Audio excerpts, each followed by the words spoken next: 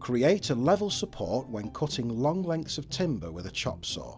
Screw two short lengths of timber to your workbench either side of the saw. Make sure the thickness of the short lengths matches the depth of your chop saw bed to adequately support your timber. For more top tips, visit our ideas and inspiration page at wickes.co.uk.